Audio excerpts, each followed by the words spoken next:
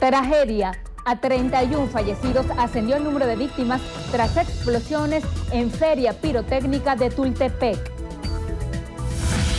Accidente aéreo. Cinco fallecidos al estrellarse avión de carga en la frontera colombo-venezolana.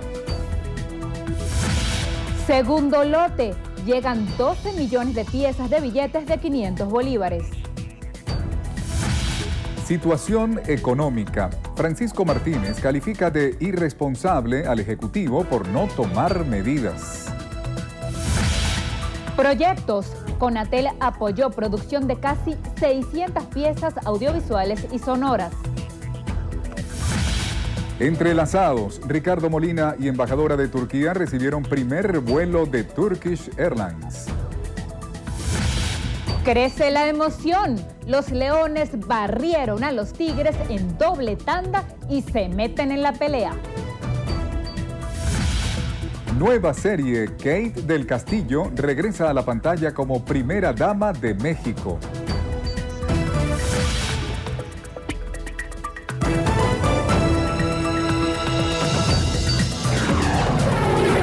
Noticiero Venevisión. Información justa y balanceada. Buenas tardes, bienvenidos a la emisión meridiana de su noticiero Venevisión. ¿Qué tal amigos? Tengan todos muy buenas tardes. Lirio Pérez Petit, quien les habla, Néstor Brito Landa. Estamos listos para comenzar con las informaciones y todos los detalles. Vamos a iniciar. A 31 muertos y 72 heridos ascendió el número de víctimas tras seis explosiones consecutivas producidas en una feria de pirotecnia en Tultepec, en México. El siniestro ocurrió en el mercado de San Pablito, el más grande del país en ventas de fuegos artificiales. Según testigos, el accidente se habría producido cuando un cohete se prendió y aterrizó en una zona con gran cantidad de material pirotécnico. Entre los heridos se contabilizan 37 hombres, 25 mujeres y 10 menores de edad. De los 72 hospitalizados, 21 fueron dados de alta. La Procuraduría del Estado de México también informó de 12 desapariciones de los 300 locales comerciales que componían el mercado 290 quedaron totalmente destruidos en los alrededores. Algunas viviendas también sufrieron daños. Se anunció por parte de la Fiscalía el inicio de una investigación para determinar las causas y los responsables de lo ocurrido. En Colombia, cinco personas fallecieron y otra resultó herida luego de que un avión de carga se accidentara tras despegar del aeropuerto de Bichada, frontera con Venezuela. Nuestro aliado Noticias Carcon nos presenta más detalles de la tragedia. Eran las 5 y 10 de la tarde cuando el Boeing de carga 727 con matrícula HK 4544 de la empresa Aerosucre despegó de la pista del aeropuerto Germán Olano en Puerto Carreño, Bichada. Este otro video muestra con más detalle a estas personas que se salvan de ser arrolladas por la aeronave. una llanta. Aunque el avión logró decolar, este otro video muestra cómo minutos más tarde, a 8 kilómetros de la pista, se fue al piso con seis ocupantes a bordo. La caída explota y se destruye totalmente. Dios se cayó, mano. Vamos para allá, vamos para allá, vamos para allá. ¿A dónde? ¿No te metes un horcado para, para la gente, bro? Para salvar a la gente. ¡Dale, vengan! ¡Vengan, vengan! ¡Vengan! Ya en el lugar del siniestro, este video aficionado capta los angustiosos momentos en que localizan al único sobreviviente de la tragedia. Bien, bien, bien, bien. Tranquilo, jefe. Tranquilo, bien, bien. ¡Ey! ¡Ey! ¡Vengan, ayuda! ¡Auxilio! Acá, acá, Bien, Sosito, bien la vaina, bien, bien. Tranquilo. ¿Y los demás?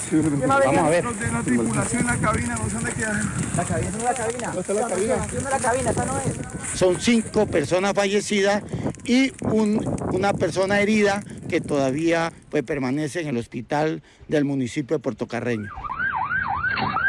Cuerpos de socorro aseguran que el piloto trató de sortear la situación, pero estas maniobras fueron infructuosas. Como lo muestran estas imágenes, los restos de la aeronave quedaron esparcidos en un diámetro de más de 200 metros. Un equipo de la Aeronáutica Civil será el encargado de investigar las causas del siniestro. Y llegó a Venezuela un avión con 11 millones de piezas de billetes de 500 bolívares pertenecientes al nuevo cono monetario. El presidente de la República, Nicolás Maduro, afirmó que con esto van estabilizando la situación monetaria.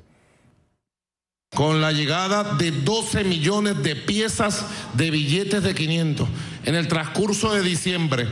y la primera semana de enero vamos a tener completo el nuevo cono monetario del país con billetes de 500, 1000, 2000 y 20 mil. Nada ni nadie podrá impedirlo. Venezuela va a salir adelante por encima de todo este sabotaje monetario.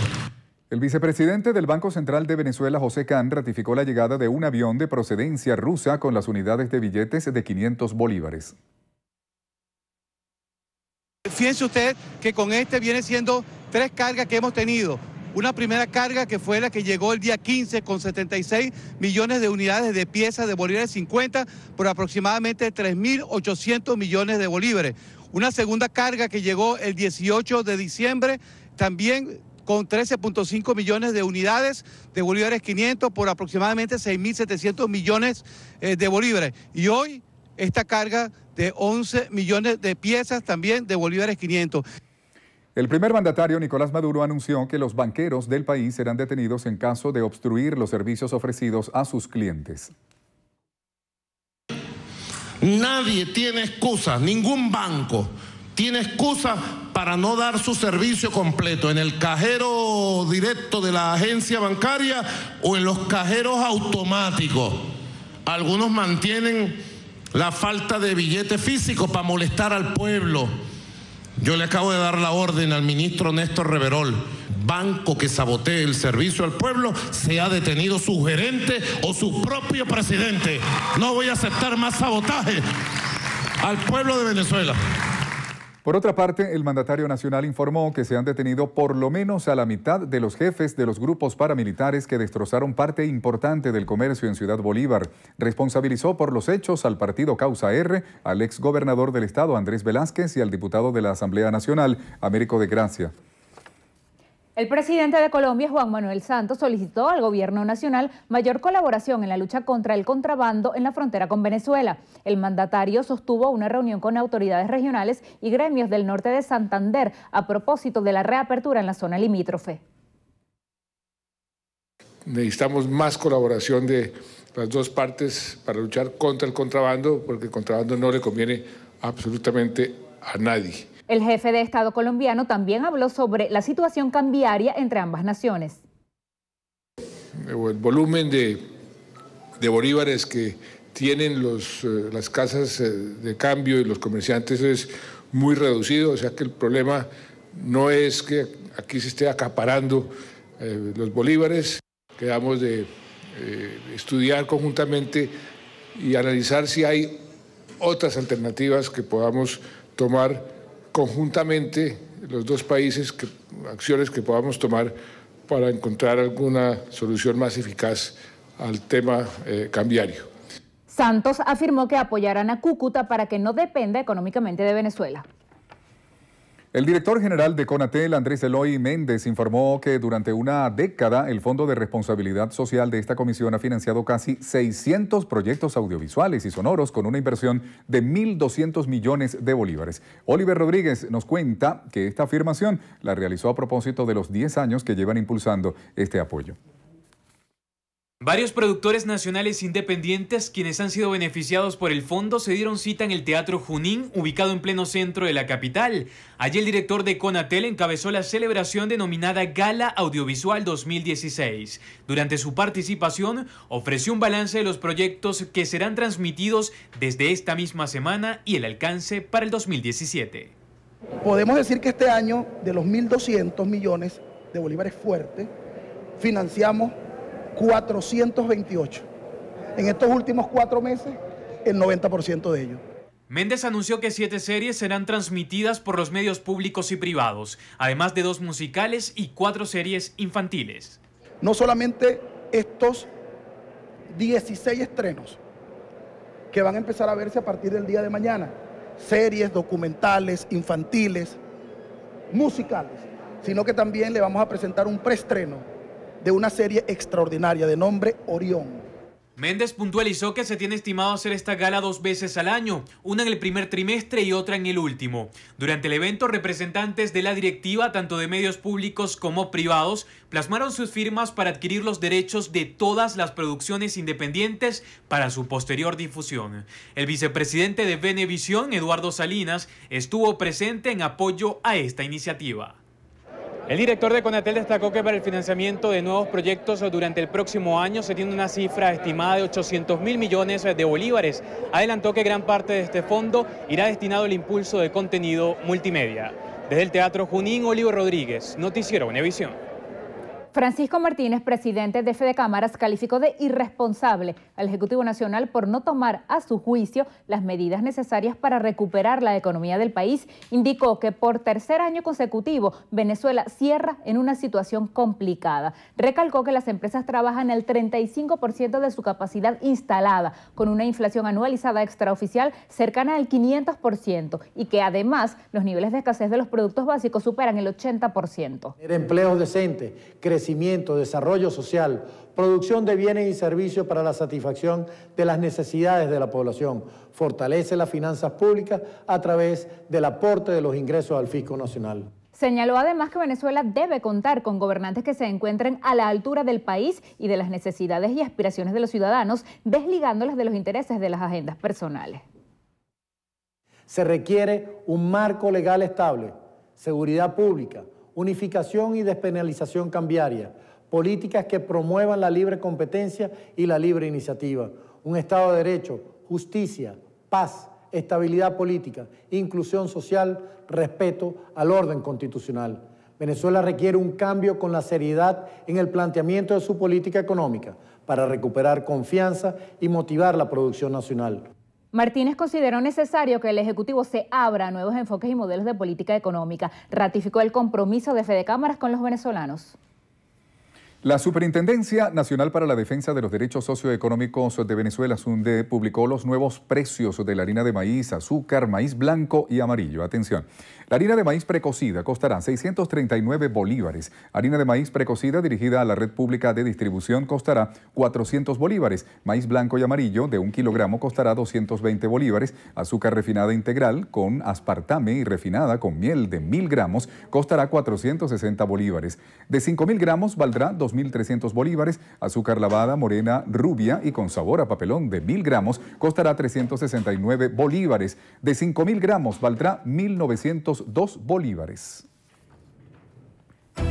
Amigos, momento de hacer nuestra primera pausa. Y al regreso. Continúa la investigación. Autoridades alemanas en busca del presunto autor del atentado en Berlín. Los detalles en breve.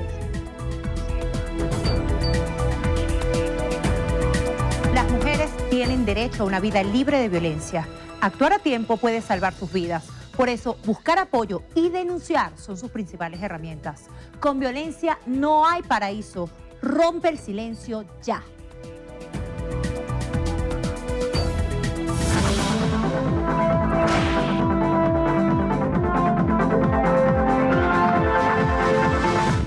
El niño Ismael Rojas necesita con urgencia doxorubicina de 50 miligramos y los medicamentos que aparecen en pantalla. Favor contactar a Jesús Rojas por el teléfono 0412-541-0726.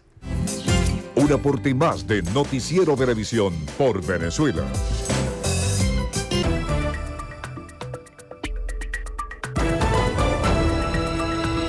Rodolfo Marco Torres, ministro para la Alimentación, formó parte de mesas de trabajo y acompañamiento a los sectores afectados tras los actos vandálicos generados en el estado Bolívar. El titular de la cartera alimentaria informó a través de su cuenta oficial en Twitter que los comerciantes que sufrieron daños en sus establecimientos recibirán condiciones especiales de la banca pública para recuperar sus negocios. El encuentro también contó con la participación de representantes del Banco de Venezuela, el Banco Bicentenario, así como del CENIAT y el gobernador de la entidad, Francisco Rangel Gómez. Irán Gaviria, presidente del partido Unión y Entendimiento Puente, insistió en la necesidad de un cambio constitucional y pacífico para solventar la crisis que existe en el país. Cambio por las vías constitucionales, pacíficas, democráticas, que nos lleve a superar esta difícil situación de desabastecimiento, inseguridad, inflación, colapso de los servicios públicos y nos brinde un país en el cual un gobierno de unidad nacional cree las condiciones para el progreso y bienestar de los aragüeños y los venezolanos. Estas declaraciones se las ofreció durante la juramentación en el Estado Aragua de la directiva de Puente en los municipios Linares, Alcántara y Libertador. El vicepresidente de Obras Públicas, Ricardo Molina, y la embajadora de Turquía en Venezuela, Julia Ostune, recibieron el primer vuelo comercial de Turkish Airlines que unirá Estambul con Caracas. Rafael Aníbal Camacho nos tiene los detalles. El vicepresidente Molina destacó que este es un paso importante para la movilidad de pasajeros entre Venezuela y Turquía, como una encrucijada hacia Europa y Oriente Medio. Así como Estambul es un hub en aquella parte del mundo, Caracas es un hub en esta parte del mundo. Latinoamérica y el Caribe se sirve desde Maiquetía, desde Venezuela, y por eso nosotros estamos muy satisfechos. La diplomática turca en Venezuela aseveró que esta conexión aérea servirá para el acercamiento cultural y económico entre las dos naciones. Pero con la conexión directa de, de vuelos entre los dos países, estoy segura que nuestras relaciones van a desarrollarse muchísimo más en el área de turismo y en comercio. Serán tres vuelos semanales que unirán a Caracas con Istambul y según estimaciones de los ministerios de Transporte y Turismo, esta frecuencia podría aumentar de acuerdo al flujo de pasajeros que utilice la ruta entre Venezuela y Turquía. Desde el Aeropuerto Internacional Simón Bolívar de Maiquetía, Rafael Aníbal Camacho, Noticiero Venevisión. Y a ocho años de la expropiación del centro comercial Sanvil de la Candelaria, la Asamblea de Ciudadanos de ese sector y el Frente en Defensa del Norte de Caracas denuncian la negativa de respuesta económica a los más de 250 comerciantes que cancelaron sus locales. Diana Martínez nos trae el reporte. Gracias por el contacto. Efectivamente, los vecinos de la Candelaria señalaron que desde la expropiación se dejaron de crear 4.000 empleos directos y 6.000 empleos indirectos. Además, señalan que el establecimiento ha creado un foco de inseguridad en el municipio.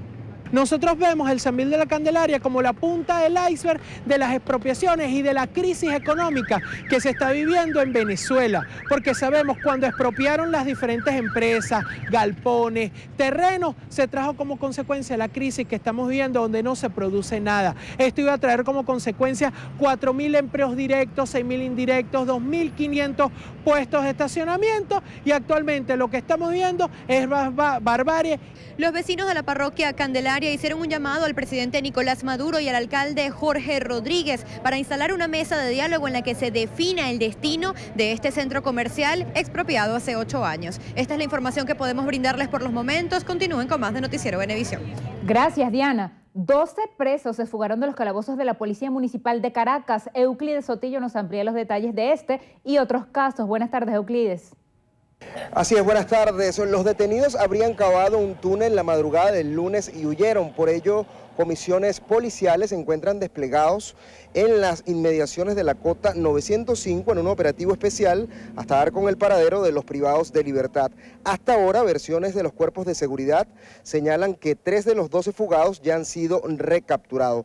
En otro caso, pero en el mirador de El Llanito en Petare, el transportista Alexander Paredes, de 34 años, fue asesinado tras oponer resistencia al robo de su celular.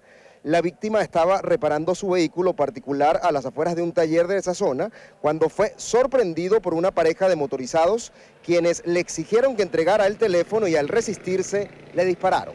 Llegaron un motorizado en compañía, pues, y le pidieron su teléfono. Cargaba un teléfono Samsung, él entrega el teléfono y al momento que le entrega el teléfono, los choros se devuelven y le dan un disparo. Alexander Paredes tenía 10 años trabajando como chofer de la línea Unidos de Guatire con un bus personal. Era divorciado y deja huérfanas a dos hijas de 6 y 11 años.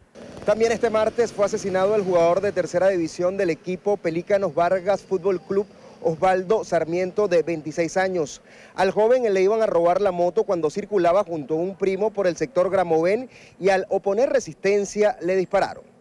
En la cota 905, Euclides Sotillo, Noticiero Revisión. Muchísimas gracias, Euclides. Amigos, es momento de hacer eh, una nueva pausa. Al regreso continuamos con más información. Ya venimos.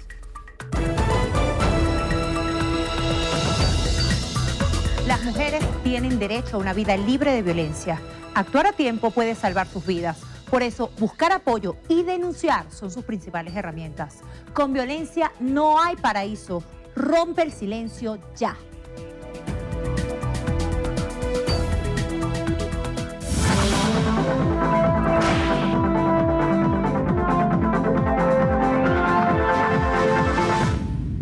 El paciente José Luis Ovares necesita con carácter de urgencia 12 donantes de sangre de tipo A positivo.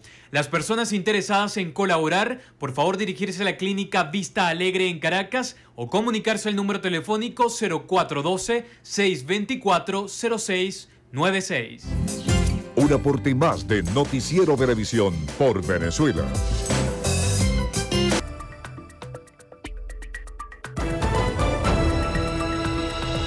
Continuamos con las informaciones. En Alemania, la policía continúa la búsqueda de un tunecino presuntamente vinculado con el atentado en el que un camión produjo la muerte de 15 personas e hirió a otras 45 en un mercado de Navidad en Berlín. El sospechoso se trataría de Anis A nacido en 1992 y cuyo nombre ha aparecido en un documento encontrado en la cabina del avión o del camión, quise decir. Según el diario, el hombre se encontraba desaparecido desde el pasado septiembre y estaba calificado como peligroso en las bases de datos de las fuerzas de seguridad. Por otra parte, las autoridades liberaron al sospechoso inicial del crimen, un hombre de origen pakistaní, luego de los forenses no pudieran relacionarlo con el incidente por falta de evidencias. La Oficina Federal de Investigación Criminal analiza ahora las más de 500 informaciones proporcionadas por ciudadanos en las últimas horas. Recientemente, el autodenominado Estado Islámico asumió la autoría del hecho, aseverando que el atacante es un soldado del grupo extremista.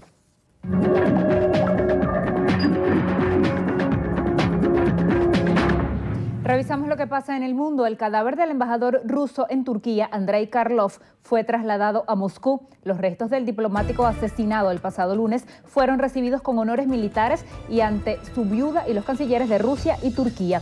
Según un medio turco, su agresor, Meflut Mert Altinta, había estado de servicio en ocho actos en los que participó el presidente Recep Tayyip Erdogan desde el fallido golpe de Estado del 15 de julio. En Cartagena, Colombia, una embarcación de pasajeros se hundió 60 metros de profundidad a mar abierto tras ser golpeada por una ola. 40 ocupantes lograron ser rescatados por guardacostas de la Armada colombiana. Las autoridades continúan la búsqueda de la única desaparecida, una turista ecuatoriana de 63 años de edad. En Bolivia, el Ministerio de Obras Públicas responsabilizó a la aerolínea Lamia y al piloto fallecido Miguel Quiroga por el accidente aéreo en Colombia. Esto durante la presentación de resultados de una investigación gubernamental. El ministerio también asumirá sanciones por la responsabilidad de algunos funcionarios bolivianos. En Rusia subió a 60 los fallecidos por la ingesta de una loción de baño a base de alcohol metílico en la ciudad de Irkutsk. Otras 41 personas intoxicadas permanecen hospitalizadas. Los fallecidos son hombres y mujeres de 35 y 40 años de edad. El alcalde del lugar había declarado emergencia ante los primeros casos.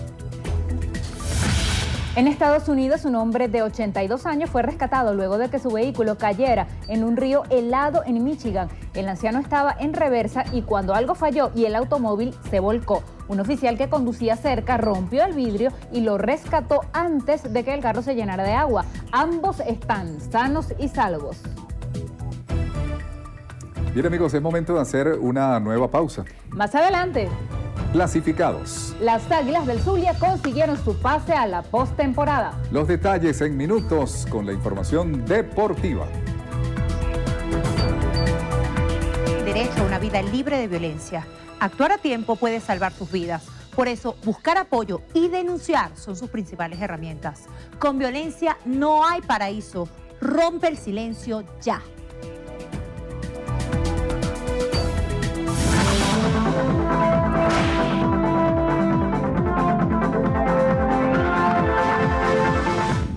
La paciente Iris Figueredo necesita el medicamento Taxotere de 80 miligramos. Quienes puedan colaborar, por favor contactar por el teléfono 0414-998-2356.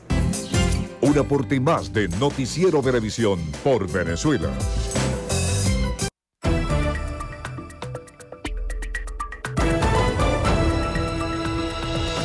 Y en más del 50% ha disminuido este año el éxodo de temporadistas a través de los terminales de Oriente y La Bandera. Precisamente en este último se encuentra Santiago Gutiérrez y nos da los detalles. Hola Santiago. Hola, muchísimas gracias amigos, buenas tardes. Solamente en el terminal de Oriente la disminución es de un 40% según el gerente de ese terminal, Roberto eh, Fernández, quien dijo que entre ayer y hoy aspira a movilizar a unos 5 mil personas, pero que el operativo se va a extender hasta el 12 de enero, eh, lapso durante el cual esperan movilizar a más de 35 mil pasajeros. Bueno, estamos hablando de un 40% menos de pasajeros en virtud a lo suscitado durante la semana pasada con la cuestión del efectivo. Nosotros esperamos ya desde el miércoles de la semana pasada tener un movimiento significativo en el terminal y no ha sido así, más bien el movimiento se ha generado a partir del día de ayer. Los destinos más solicitados al oriente son Carúpano, Puerto La Cruz, Barcelona y Ciudad Bolívar. Pero vamos a escuchar a la gente, esa que está en cola en estos momentos, a ver qué piensan y cómo ha sido su permanencia en el terminal. Estoy esperando carro de esta mañana y no han abierto las taquillas. ¿Qué le dicen? Que esperen, que esperen y nada. Y aquí en el terminal de la bandera eh, la situación es muy particular, puesto que eh, hay una paralización de actividades desde el 12 de este mes de 37 líneas en rutas largas. Y esto ha obligado a las autoridades a habilitar unidades, según lo informó José Gregorio Franqui, quien es el coordinador general de este terminal.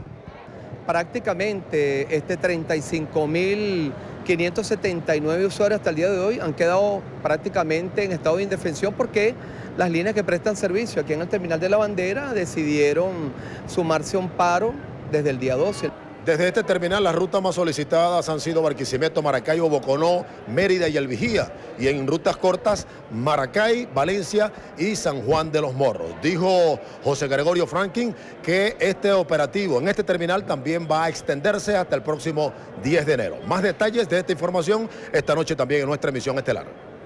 Muchísimas gracias, Santiago. Bien, vamos con otra información. Es que cada 21 de diciembre llega el espíritu de la Navidad. Es una tradición proveniente de países nórdicos que reúne a familiares y amigos en esta temporada. Sin embargo, por ser una celebración pagana, algunos muestran escepticismo. Los rituales de este día incluyen preparativos eh, y el acto central, la elaboración de deseos con múltiples variaciones. Vamos a dejar que sea nuestra compañera Endrina Yepes quien nos cuente más detalles. Adelante. La llegada del espíritu de la Navidad cada 21 de diciembre tiene connotaciones especiales para cada uno. Hay unas personas que sí creen en la celebración de este día, conocida en el mundo de la astronomía como el solsticio de invierno, porque se convierte en uno de los días más largos del año o de la noche más larga, de acuerdo a donde esté ubicado cada país. Y también para algunas personas que no son tan escépticas, celebran este día con rituales que son considerados paganos. Estoy aquí con Darwin Camarra para que nos comente en qué consiste la celebración del espíritu de la Navidad.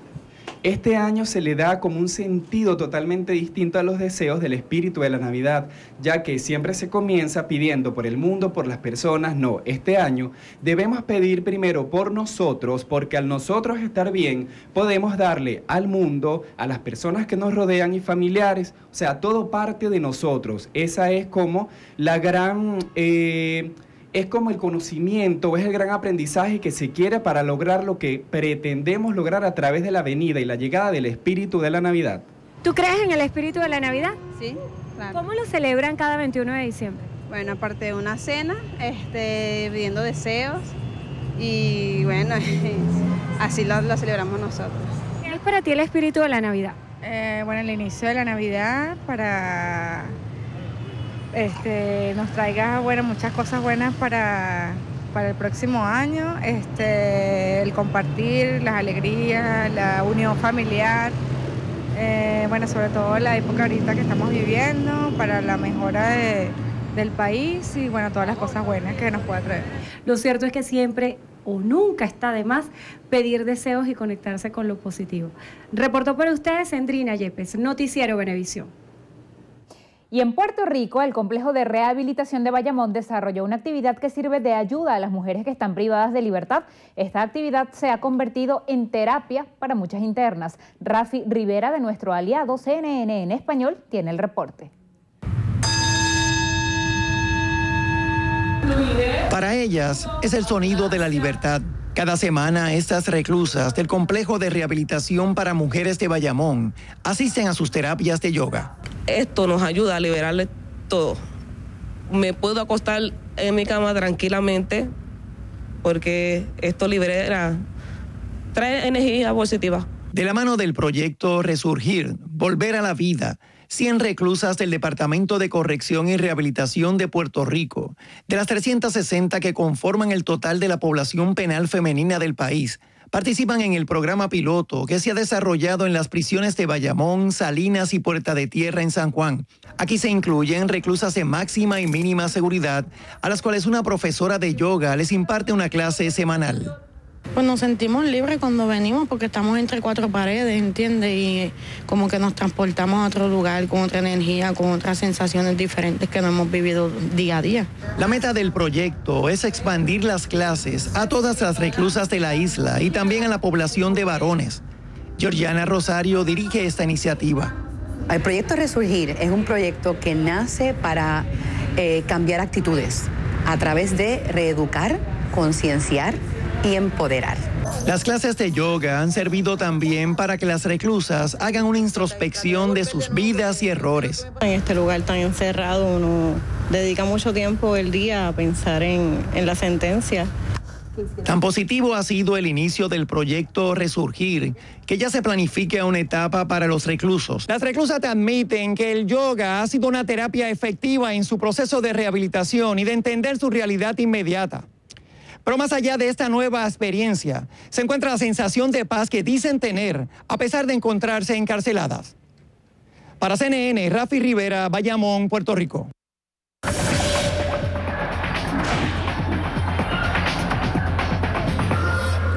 Amigos, y comenzamos con la información deportiva. Lo hacemos con la Liga de Béisbol Profesional porque los Leones del Caracas vencieron por partida doble a los Tigres de Aragua y los igualaron en la sexta casilla de la clasificación.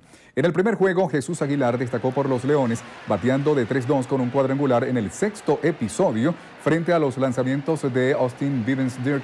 Por su parte, Luke Irvin sumó su primera victoria con el Caracas, luego de seis innings de labor en los que no permitió carreras y ponchó a tres rivales. En el segundo compromiso, los capitalinos se impusieron una vez más por pizarra de 2 por 0 y suman 26 victorias en la actual campaña. Con estos resultados se genera un triple empate entre los melenudos, los Tigres de Aragua y los Navegantes del Magallanes en el sexto lugar de la clasificación. Y en otra jornada, las Águilas del Zulia consiguieron la clasificación matemática tras salir triunfantes ante los Cardenales de Lara por score de cinco carreras por cuatro en el estadio Luis Aparicio el Grande. En el primer juego de una doble tanda, el pitcher ganador fue Arsenio León y la derrota la cargó Tiago da Silva por Cardenales. Entre tanto, en el segundo mm, episodio resultó ganador el equipo visitante por score favorable de nueve carreras por cuatro. Y pasamos a los tableros porque en Nueva York los Knicks se vencieron 118 a 111 a los Indiana Pacers. Carmelo Anthony y Derrick Rose regresaron a la duelo o al duelo luego de perderse un par de juegos por lesiones y sumaron 35 y 20 puntos respectivamente. Joaquín No aportó un doble con 11 tantos e igual número de rebotes. Por su parte, los Cavaliers vencieron a los Milwaukee Bucks con marcador de 144 a 108. El héroe del partido fue LeBron James, quien anotó un triple en los minutos finales de la Progorra y le dio la victoria a su equipo en el encuentro. Eh, James consiguió 34 puntos, 12 rebotes y 7 asistencias. Con la victoria, los actuales campeones de la liga llegaron a 20 triunfos en la presente temporada. Y en otro encuentro, los Spurs sumaron una victoria decisiva para mantener su segunda posición en la conferencia oeste y se impusieron ante Houston 100 por 102. Los Rockets sumaban 10 triunfos seguidos y aspiraban a desbancar a San Antonio, pero no pudieron. Kiwi Leonard con 21 puntos y la Marcus Aldrich con 17 puntos y 10 rebotes fueron los más destacados por los Spurs. Momento de hacer una nueva pausa. Bueno, y recuerden que en estrenos y estrellas. De aniversario. Agrupación Mexicana celebra 10 años de carrera. Los detalles con Carielis Cuadros. No me quedan ganas de sentir. Llegas cuando estoy a punto de olvidarte. Busca tu camino. Las mujeres tienen derecho a una vida libre de violencia. Actuar a tiempo puede salvar sus vidas. Por eso, buscar apoyo y denunciar son sus principales herramientas. Con violencia no hay paraíso. Rompe el silencio ya.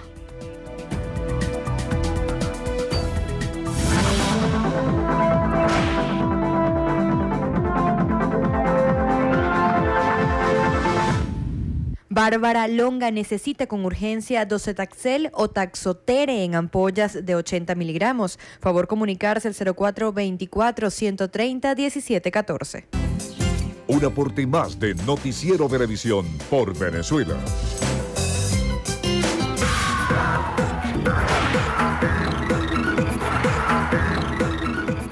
Hola, ¿qué tal amigos? Yo soy Carilis Cuadros y esto es Estrenos y Estrellas. Iniciamos las noticias del mundo del entretenimiento con la agrupación Camila y la celebración de sus 10 años de carrera. Con motivo de su aniversario presentan el disco Camila Greatest Hits, que es una recopilación de sus más grandes y conmovedores temas, incluyendo un DVD con sus mejores videoclips y un largometraje especial que los muestra de manera íntima a sus fans, donde podrán encontrar canciones emblemáticas del trío como Coleccionista de Canciones, Mientes y Abrazan, que popularizaron con su ex compañero Samo. Actualmente, Camila continúa disfrutando del éxito de su más reciente álbum Ellipse mientras se preparan para sus presentaciones especiales en Estados Unidos. Adicionalmente, para celebrar el Día del Amor y la Amistad, tocarán el 14 de febrero en Lima, Perú. Los mexicanos también tendrán una participación especial en el Festival de Viña del Mar 2017, que se celebrará el 21 de febrero. Estoy mejor. Voy de nuevo recordando lo que soy, sabiendo lo que das y lo que doy. En mí no queda espacio para ti.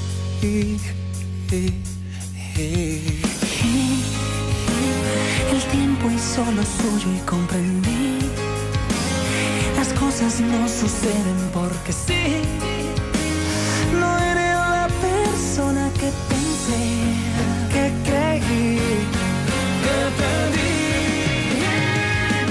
Shannon de Lima reaparece luego del anuncio de su separación con Marc Anthony. De Lima ha sido fotografiada junto a su hijo en un día de paseo por la ciudad de Miami. Estas son las primeras fotografías desde que hace pocos días Marc Anthony y la venezolana anunciaran oficialmente su separación.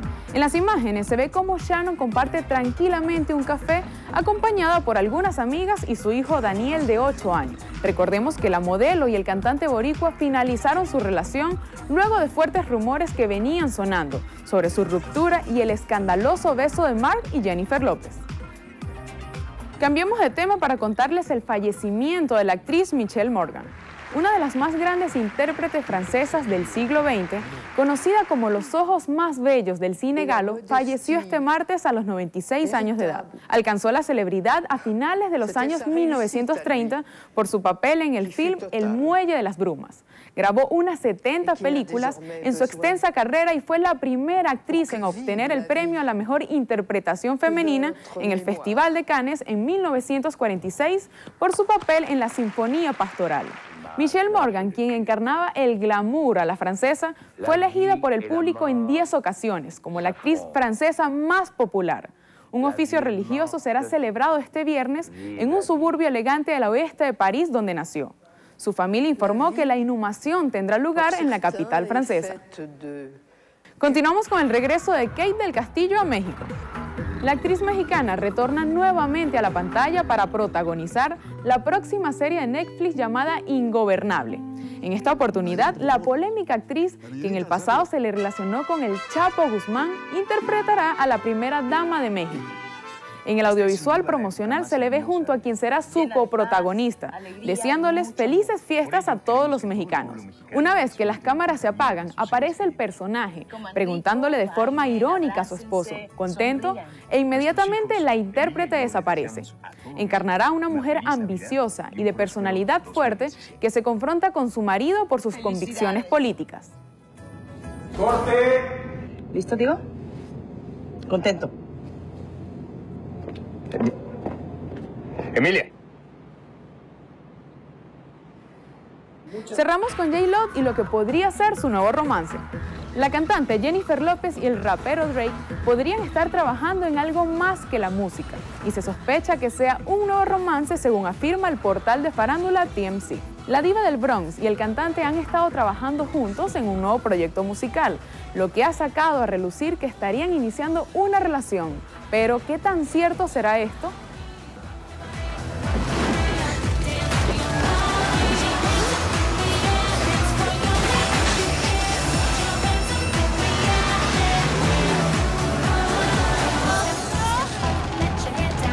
Así llegamos al final, les deseo buen apetito. Yo soy Carilis Cuadros y los espero en la emisión estelar de su noticiero Venevisión. Muchísimas gracias, Carielis. Amigos, y vamos con otras informaciones. El diputado de la Asamblea Nacional, José Guerra, considera insuficiente el tiempo de distribución para el nuevo billete de 500 bolívares y presenta un conjunto de propuestas para solventar la situación. Manuel Covela nos va a ampliar. Adelante, Manuel, buenas tardes. Sí, así es, gracias. Buenas tardes. Nosotros de inmediato vamos a conversar con el diputado José Guerra, miembro de la Comisión de Finanzas de la Asamblea Nacional, quien va a explicar en detalle de qué se tratan las propuestas que está presentando para resolver esta crisis por la ausencia de billetes. Hay un problema con los billetes. Hemos advertido al país que se tienen que tomar las medidas adecuadas y correctas para evitar un problema similar al que ocurrió la semana pasada en varios estados de Venezuela.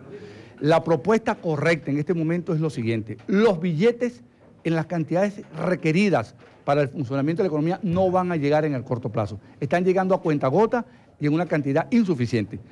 Propuesta para enfrentar este problema. En primer lugar, que se permita la circulación indefinida del billete de 100 y que los billetes de 100, 50, 20, 10, 5 y 2 convivan con los nuevos billetes que van a ir llegando gradualmente para que no se cree escasez de billetes. Porque el problema es el billete de 100, que tiene fecha de vencimiento el día 2 de enero y es insuficiente el plazo para distribuir los billetes de 500. Segundo, que el Banco Central haga una campaña informativa, tal cual ocurrió con la reconversión monetaria, para mostrar la cara de los nuevos billetes y la gente lo pueda distinguir de los billetes actuales y pueda evitar la confusión.